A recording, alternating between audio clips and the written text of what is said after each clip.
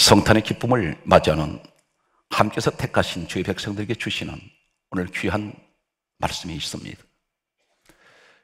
예수님께서 이 땅에 오셨을 때 같은 현장에 두 모습이 있습니다. 두 얼굴이 있습니다. 한결같이 모든 사람들이 이 땅에 오신 메시아 예수 그리스도를 환영하며 박수하며 그리고 그분께 영광 돌리는 사람이 아니었습니다. 동방에서 온 박사들 그리고 목자들은 우리 주님을 영접을 했습니다. 그들은 이곳에 찾아온 목적이 무엇입니까? 오직 한 분, 예수 그리스도를 만나기 위해서 왔습니다.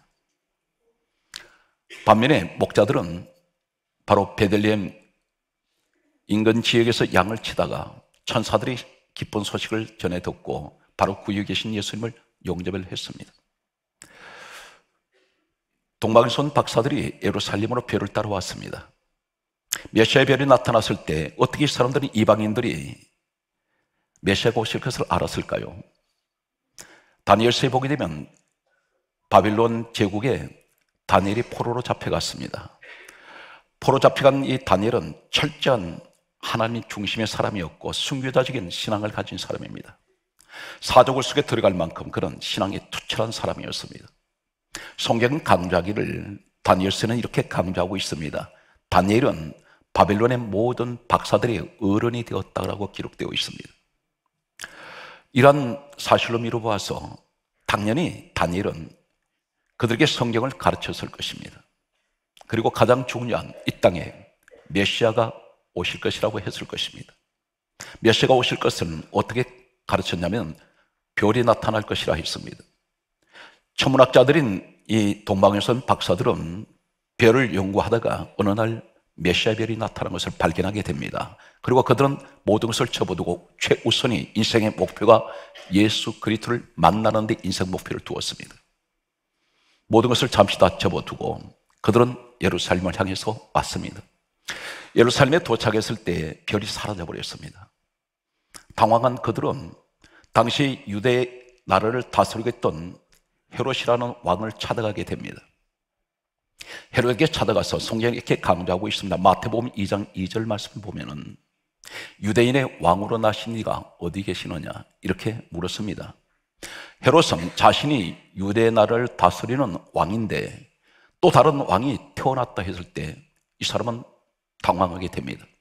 그래서 마태복음 2장 16절에 다음 같은 말씀을 하고 있습니다. 헤롯이 박사들에게 자세히 알아본 그때를 기준하여 두 살부터 가려 다 죽여라. 남자아이를 다 죽입니다. 역사에 보게 되면 이때가 가장 참혹한 유아대 학살 사건이 일어난 것을 역사는 기록을 하고 있습니다. 남자아이들을 다 죽였습니다. 왜 두 살부터 기준합니까? 박사들에게 자세히 알아본 그때를 기준했습니다. 그때가 언제입니까? 메시아 별이 나타났을 때 박사들이 페르시아에서 예루살렘으로 출발했을 때입니다. 생각을 해봤더니 계산을 했더니 두 살 정도 되었다는 것입니다. 참고로 말씀드리면 박사들이 예수님 만났을 때 구유에 계신 예수를 만나지 않았습니다. 마태복음 2장 11절 보게 되면 집에 들어가 아기와 그 모친 마리아가 함께 있는 것을 보고 아기 예수께 엎드려 경배했습니다. 그리고 황금 유향 몰약을 예물로 박사들이 드렸습니다. 집에 계신 예수님이었습니다. 이미 두 살 정도 되셨다는 것입니다. 헤롯이 두살 아래 다 죽이라는 것은 예수님을 죽이려고 했습니다. 오늘 이 사실에서 한 가지 깨닫습니다. 예수님께서 이 땅에 오셨을 때 박사들처럼 목자들처럼 예수님을 환영하고 영접하고 영광을 돌리는 사람이 있는가 하면 예수님이 오셨을 때 그 현장에 예수님을 배척한 사람이 있었습니다. 헤롯이 왜 예수님을 죽이려고 했습니까? 그분이 하나님이신 것을 알면서도 왜 죽이려 합니까? 권력욕에 눈이 어두워져 버렸습니다. 이 시대가 그렇습니다. 세상 권력욕에 눈이 어두우면 예수가 보이지 않습니다. 하나님마저 보이지 않습니다. 오히려 헤롯이 예수님을 죽이려고 했습니다. 무고한 수많은 두 살 아래의 아이들이 죽어갔습니다. 이것은 많은 세상 것을 가지고 있는 권력력에 눈 어두운 사람들은 주님 앞에 오지 않습니다. 왜 그렇습니까? 이 권력이 그들이 앞에 장애물이 되어 있다는 것입니다. 또한 부류가 있습니다. 그 사람들이 누구인가요? 바로 헤로당 옆에 붙어 있는 종교 지도자들이 있었습니다. 종교주의자들. 이들은 어떤 사람이었을까요? 마태복음 2장 4절에 보게 되면 헤롯이 대제사장들과 서기관들에게 다음과 같이 물었습니다. 그리스도가 어디서 나겠느냐? 이렇게 물었습니다. 대제사장 서기관들이 누구냐면 성경학자들입니다. 날만 새면 백성들에게 사람들에게 성경을 가르치고 있는 사람들입니다. 제사장들은 날만 새면 하나님 앞에 예배를 드리고 있는 자들입니다. 그런데 헤로드 왕 옆에 곁에 있습니다. 예배 드려야 될 사람들이 하나님 말씀을 전해야 될 사람들이 지금 왕의 정치 권력 앞에 붙어 있습니다. 헤로당이 그렇게 물었습니다. 그리스도가 어디서 나겠느냐 했더니 이 사람들은 너무나 잘 알고 있습니다. 구약 성경에 예언되어 있는 미가서 5장 2절에 베들레헴입니다. 거침없이 헤로에게 말합니다. 그런데 이 예루살렘과 그들이 있는 예루살렘과 베들레헴은 거리가 어느 정도입니까? 옆 동네입니다. 약 8km 지점입니다. 수천 년 동안 구약에 예언되어 있던 메시아가 오신다는 사실을 이 사람들은 입이 아프게 늘 떠들었습니다. 수많은 사람들에게 메시아가 오실 것을 가르쳤습니다. 그러나 막상 이 땅에 메시아가 오셨을 때 8km 밖에 계시는데 그들은 가지 않습니다. 이 사람은 머리로만 믿는 신앙입니다. 알고만 있는 신앙입니다. 전혀 움직이지 않습니다. 어쩌면 이 시대를 그대로 조명하고 있습니다. 세상 것 때문에 주님 앞에 못 나오는 사람들이 있습니다. 많은 것을 가지고 있기 때문에. 그리고 형식적인 신앙에 젖어 있는 사람들이 있습니다. 성경 공부 많이 했습니다. 경력이 능력이 아닙니다. 오래 믿었습니다. 그런데 전혀 움직이지 않는다는 사실입니다. 마치 사도행전 3장 1절의 말씀을 보게 되면 성전 미문 마당에 앉아 있는 안전병의 신앙이라는 것입니다. 못 걷습니다. 이 사람은 사도행전 3장 1절에 남인소 안전병이 된 이 사람은 나이가 40여 세라 했습니다. 성경 나이를 기록하고 있습니다. 40여 년 동안 교회 생활은 했지만 마당 신자입니다. 전혀 걷지 못합니다. 자기 발로 걸어본 적이 없습니다. 항상 남이 메어다 줘야 됩니다. 다른 사람의 손에 끌려서 교회 나오는 사람들. 이런 모습을 보여주고 있습니다. 머리로 다 알고 있습니다. 예수님이 하나님의 아들이신 걸 알고 있습니다. 믿음의 천국 간다는 것도 알고 있습니다. 그러나 전혀 움직이지 않습니다. 또 한 부류가 있습니다. 성경 말씀을 보게 되면 누가복음 2장 3절 말씀에 이렇게 기록하고 있습니다. 이 사람들이 베들레헴으로 요셉이 마리아와 함께 또 마리아 몸에 잉태하신 우리 예수님과 함께 왜 베들레헴에 왔습니까? 성경 강좌기를 당시에 노바의 황제가 아구스도입니다. 아구스도 가이사 아구스도 황제가 다음 같은 칙령을 내렸습니다. 모든 유대인들은 호적을 하라고 했습니다. 그래서 그들은 각자가 고향으로 돌아가게 되는데 누가 보면 2장 3절 말씀은 이렇게 기록하고 있습니다. 호적을 하러 각각 고향으로 돌아갔더라 이렇게 기록하고 있습니다. 그런데 예수님이 왜 구유에서 태어나셨을까요? 성경 강조합니다. 누가 보면 2장 7절에 보게 되면 여관에 있을 곳이 없음이로라. 호적하기 위해서 수많은 사람들이 베들레헴으로 모여들었습니다. 자기 고향을 찾아왔습니다. 그런데 예수님이 들어가실 곳이 없습니다. 여관방에 묵을 곳이 하나도 없습니다. 여관 주인은 어디 갔습니까? 지금 예수님이 여관 집 문 앞에 와 계십니다. 그런데 여관 주인 얼굴은 보이지 않습니다. 왜 여관 주인은 자신의 집 앞까지 오신 예수님을 만나지 못했을까요? 돈 벌기 바빠서 세상 일에 바빠서 예수님을 영접하지 않습니다. 세 부류가 있습니다. 권력욕에 눈 어두웠을 때에 알고도 있는데 머리로만 믿는 신앙, 지식으로만 알고 있는 신앙. 또 한 부류는 세상 돈 버는 일에 바빠서 주님을 만나지 못하는 사람들이 있습니다.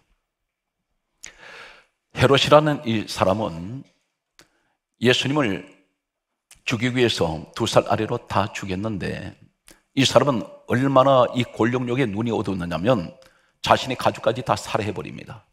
심지어 아내까지 그리고 자신의 자식들까지 왜 살해하느냐면 자신의 왕의 권자를 가족들이 탐을 낸다는 것을 알고 이 사람은 가족들을 살해했습니다.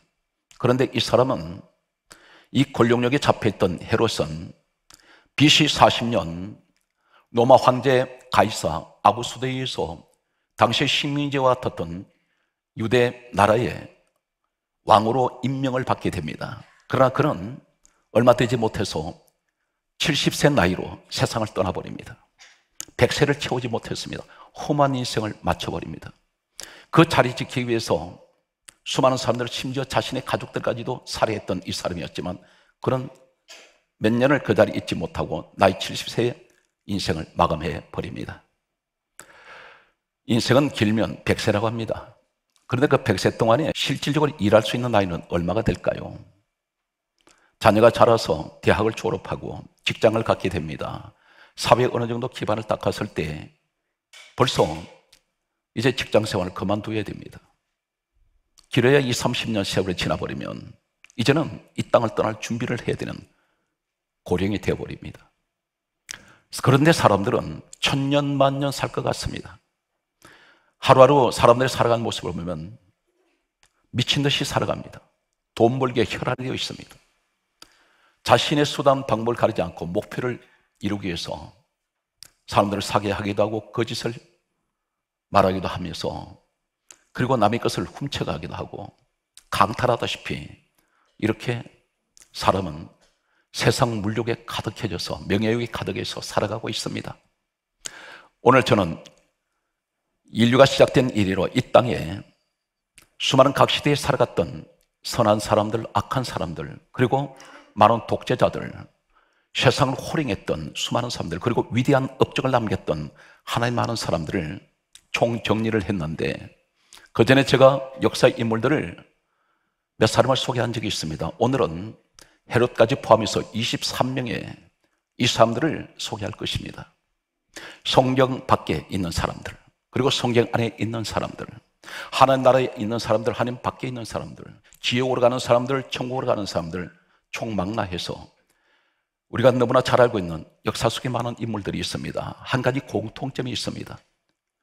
제가 소개하는 이 23명, 헤롯을 포함한 23명은 그들은 100세를 살지 못합니다. 수많은 수백만 사람들을 살해를 했고 자신의 자리를 지키기 위해서 그리고 수단 방법을 가리지 않았던 이 사람들은 단 한 가지 그들은 한결같이 죽음을 막아내지는 못합니다. 헤롯을 제외한 22명을 살펴보겠습니다. 로마에 네로 황제가 있습니다. 이 로마의 네로 황제는 자신의 그 자리를 지키기 위해서 역시 헤롯과 같은 그런 어쩌면 똑같은 모습을 가지고 있습니다. 가족들을 죽였습니다. 미치광이 같이 그는 왕의 자리를 지키기 위해서 몸부림을 쳤던 사람입니다. 그러나 그는 자신의 고뇌를 이기지 못하고 31세 때에 그는 스스로 자살을 해버렸습니다. 31세를 마감으로 이 땅을 떠나간 이 네로 결국 31년 동안 그는 수많은 사람들을 죽이면서 그 자리를 지키려 했지만 스스로 그는 자신의 마음속에 이 갈등을 이기지 못하고 그는 스스로 목숨을 끊었습니다. 헬라 제국이 있습니다. 지금은 이 지구상에서 사라져버린 헬라 제국에 알렉산더 대왕이 있습니다. 이 알렉산더 대왕은 자신이 수많은 땅을 정복을 한 후에 땅을 치며 통곡을 했습니다. 더 이상은 정복할 땅이 없다고 통했던 그는 33세 때에 그런 인생을 마감합니다. 하늘 찌르는 알렉산더 같은 사람은 영웅 중에 영웅이라고 했습니다. 그런데 그는 33세에 적군이 쏜 병사의 화살을 맞아서 그는 이 땅을 떠나게 됩니다. 중국 진나라가 있습니다. 진나라의 진시 황제가 있습니다. 이 사람은 불로초를 먹고 자신은 영원토록 죽지 않는다고 호언 장담했던 사람입니다. 그러나 이 사람은 49세에 심한 질병으로 그는 세상을 떠나게 됩니다. 50도 넘기지 못했습니다. 계속해서 역사를 보게 되면 프랑스의 나폴레옹이 있습니다. 나폴레옹은 세계를 정복을 하기 위해서 그런 늘 야망에 불탔던 사람입니다. 스스로가 황제라고 불렀습니다. 그리고 많은 프랑스 국민들에게 자신을 황제로 불러줄 것을 그는 명령을 한 적이 있습니다. 후세는 나폴레옹 황제라고 부릅니다. 그러나 이 사람은 52세에 세상을 떠났습니다. 마지막 그가 떠나면서 남긴 말은 인생은 참으로 허무하다고 말했습니다. 독일에 히틀러가 있습니다. 온 세계를, 당시에 전 세계를 전쟁의 공포로 몰아넣었던 이 히틀러는 56세 때에 스스로 집에서 자살했습니다. 세계적인 천재 음악가가 있습니다. 독일의 베토벤이 있습니다. 이 사람은 많은 음악의 거장입니다. 그리고 수많은 명곡들을 남겼던 사람입니다. 그런데 그는 57세에 생애를 마감했습니다. 선하게 살았던, 악하게 살았던 어떤 사람도 결국은 죽음을 막아내지는 못합니다. 사람의 죽고 사는 것은 성경은 이렇게 말씀합니다. 나는 죽이기도 하고 살리기도 하는 전능한 하나님이야. 우리 하나님만이 사람을 살릴 수 있고 죽일 수 있고 천국 지옥으로 보낼 수가 있다는 것입니다. 우리 인생 모든 것은 그분한테 달려 있다는 사실을 우리는 부인할 수가 없습니다. 인류가 시작된 이래로 전 세계에 부귀 영화를 가장 크게 누렸던 사람이 있습니다. 이 사람은 바로 솔로몬입니다. 이 사람은 지혜의 대명사입니다. 하나님께서 친히 지혜를 내려주셨던 사람, 교회를 다니지 않는 사람도 지혜라고 말하면 솔로몬을 이야기를 합니다. 이 사람은 부인을 천명을 두었습니다. 향락에 젖어 살았던 이 사람, 천년 만년 이 사람은 자신이 이 부귀 영화를 누릴 줄 알았습니다. 그러나 그는 60세에 생애를 마감하게 됩니다. 스웨덴에 노벨이 있습니다. 이 노벨이 바로 노벨상을 제정했던 사람입니다. 이 사람은 63세에 생애를 마감하게 됩니다. 미국 대통령 가운데 에브렘 링컨 대통령과 함께 가장 존경받는 대통령이 한 사람이 있습니다. 루즈벨트 대통령입니다. 이 사람은 63세로 생애를 마감하게 됩니다. 중국과 소련을 정복했던 사람이 있습니다. 바로 몽골의 징기스칸입니다. 이 징기스칸은 수백 년 동안 소련과 중국을 점령한 적이 있습니다. 지배를 했습니다.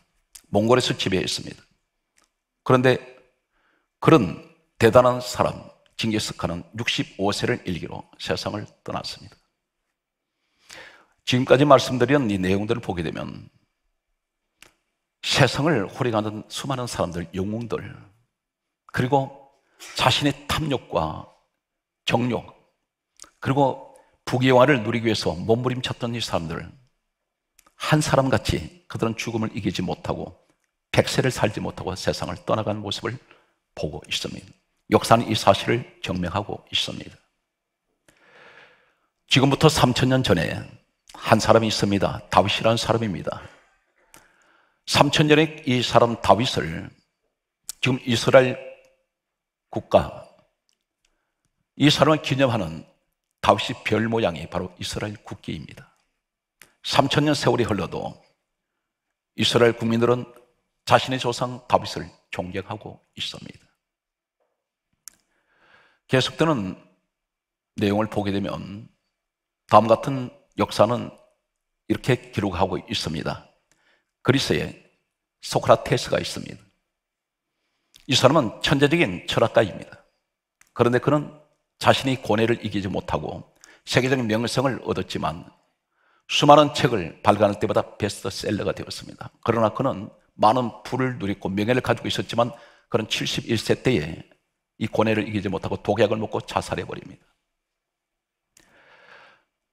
동양에서 가장 존경하는 철학가가 한 사람이 있습니다. 중국의 공자입니다. 공자는 73세에 생애를 마감합니다. 이분이 고백이 어떤 것인지 아십니까?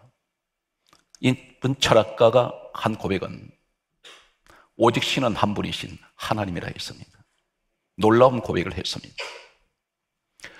계속되는 내용을 보게 되면 소련에 서탈린이 있습니다. 이 서탈린은 독재자 중에 독재자입니다. 수많은 사람들을 죽였습니다.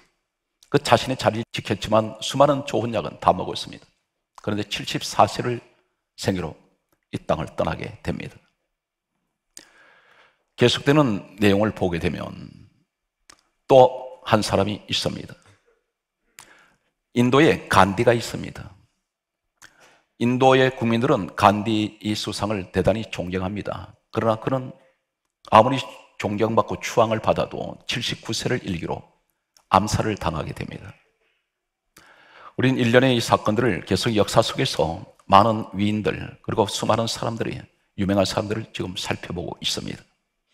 계속되는 이 내용들을 보게 되면 공통점은 백세를 넘기지 못합니다. 잠시 다 떠나가 버리는 사람들.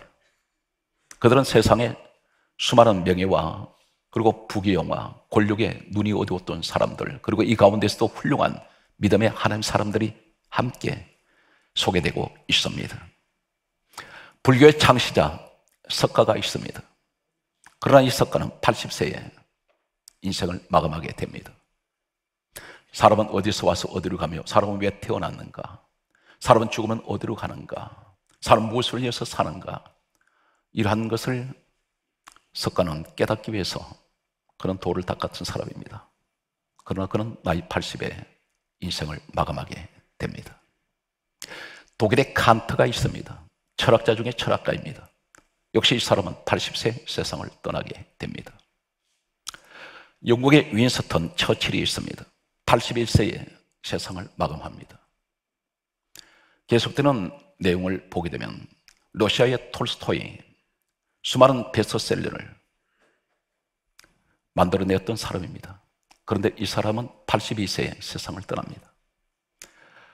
중국에 가장 그들이 공산주의 대부라고 하는 모택동리가 있습니다. 이 사람 83세에 세상을 마감하게 됩니다. 미국의 발명가 중에 발명가를 하는 에디슨이 있습니다. 84세 이 땅을 마감했습니다. 유대 나라에 다니엘이 있습니다. 다니엘은 88세까지 살았습니다. 지금 제가 소개한 이 내용들은 헤롯까지 합해서 23명의 시대적인 인물을 살펴봅니다. 사랑하는 성들은 이 시대는 현존한 사람 누구입니까? 바로 사랑하는 성도 여러분이라는 사실입니다. 세상 것을 얻기 위해서 미친 듯이 달려가는 그런 인생이 있는가 하면 오직 예수 그리스도를 위하여 항상 신앙생활을 늘 등한시 하지 않고 열심히 달려가는 믿음의 사람들이 있습니다. 그분들이 있기에 이 한국은 행복합니다. 왜 그렇습니까? 소동 고모라가 망하지 않았을 수가 있었습니다. 하나님께서는 아브라함에게 다음 같은 말씀하셨습니다. 의인 10명이 있다면 내 소돔을 멸하지 않는다. 사는 성들은 과연 이 땅에는 의인이 없을까요? 오늘 저는 여러분에게 비전의 눈을 바라보고 있습니다. 여러분은 바로 의인이라고 할 수 있습니다. 왜 그렇습니까? 예수 그리스도 안에 있는 사람이 의인인데 성경 말씀은 이렇게 말씀하고 있습니다. 믿음의 족상 로마서 4장 11절에 말씀하고 있던 아브라함을 가리켜 아브라함이 하나님을 믿으니 이를 그의 의로 여기셨다 있습니다. 바로 믿음의 사람이 의인입니다. 사랑하는 성도 여러분, 의인은 믿음으로 말미암아 살리라 했습니다. 사랑하는 성도 여러분, 얼마나 인생을 살아가면서 힘들고 어려우십니까? 누구에게나 다 이 고난은 찾아옵니다. 고뇌합니다. 괴롭습니다. 고통스럽습니다. 그러나 우리에게는 만왕의 왕이 되시는 예수 그리스도가 계십니다. 사랑하는 성도 여러분, 절대 인생에 지치지 말고 그리고 삶을 포기하지 말고 힘들고 어려울 때 우리는 다시 한번 추스르면서 일어나는 2020년이 되시기를 간절하게 소망합니다. 사랑하는 성도 여러분, 오늘 성경 말씀을 보게 되면 하나님께서는 사람들을 왜 지으시고 이 땅에 내려보내셨습니까? 목적이 하나밖에 없습니다. 예수님께서 이 땅에 오신 성탄의 의미가 무엇인가요? 목적이 하나밖에 없습니다. 죄인을 구원하신 우리 예수님. 이사야 43장 21절은 이렇게 말씀하고 있습니다. 이 백성은 내가 나를 위하여 지었나니 나를 찬송하게 하려 함이라. 이 찬송은 하나님께 영광 돌리기 위하여 하나님께서 우리를 지으셨다는 것입니다. 여러분 가정이 건강하셔야 됩니다. 그리고 우리 삶이 건강해야 됩니다. 윤택해야 됩니다. 형통해야 됩니다. 가장 중요한 것이 무엇입니까? 그 자리에서 하나님께 영광을 돌리시는 우리 삶이 되어야 된다는 것입니다. 가정이 잘 돼야 될 이유가 있습니다. 주의 영광을 위해서. 그리고 이 국가가 평안해야 됩니다. 왜 평안해야 됩니까? 가장 중요한 것은 예수 그리스도를 위하여. 오늘 사랑하는 성도 여러분, 성경 말씀은 성탄의 기쁨을 가장 먼저 누가 찬양합니까? 천사들이 찬양하고 있습니다. 누가 보면 2장 14절에 이렇게 천사들이 찬양합니다. 목자들 앞에서 왔던 그들이 소식을 전하면서 하늘은 하나님께 영광이요. 땅에서는 하나님께서 기뻐하심을 입은 사람들 중에 평화로다. 가끔 길거리 지나가다 보면 성탄 때가 되면 현수막을 보게 됩니다. 그 걸귀가 어떻게 되어 있습니까? 하늘은 영광, 땅에는 평화. 분명 땅의 평화는 따로 있습니다. 하나님께서 기뻐하심을 입은 사람들 중에 평화입니다. 무조건 세상 평화가 아니라 다시 말해서 하나님께서 기뻐하시는 이 평화는 누구입니까? 예수 그리스도 안에서 구원받은 사람들, 하나님의 백성들, 그들 가운데 평화가 있다 있습니다. 저는 간곡하게 그리고 간절하게 소망하는 것은 주요 우리 민족이 모두가 그리스도 안에서 함께 하나님께 기뻐하심을 입은 평화가 임하는 우리나라 민족이 되게 하여 주옵소서. 이 간절한 소망을 가지고 있습니다. 사랑하는 성도 여러분, 2020년 신년이 점점 다가오고 있습니다. 성탄의 기쁨을 맞이하면서 오늘 이 말씀을 끝으로 말씀을 정리하겠습니다. 누구든지 그리스도 안에 있으면 따라서요. 이전 것은 지나갔으니 보라 새 것이 되었도다. 누구든지 그리스도 안에 있으면 새로운 피조물이라. 우리는 새롭게 출발합니다. 과거의 아픈 상처 털어버리십시오. 그리고 기억하지 마시기 바랍니다. 이제 우리는 새롭게 출발해야 합니다. 누구와 함께 출발합니까? 나 혼자가 아닌 예수 그리스도와 함께 2020년을 향해서 나가시는 우리 사랑하는 성탄의 여러분들이 되시기를 주의 이름으로 축복합니다.